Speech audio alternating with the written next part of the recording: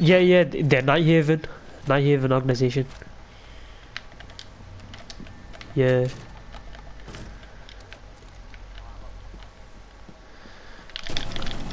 Fuck off.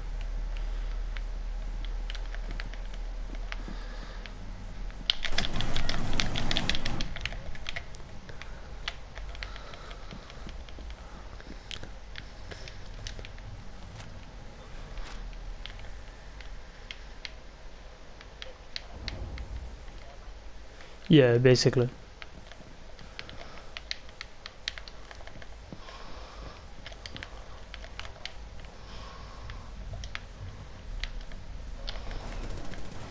Op 4, last stop standing.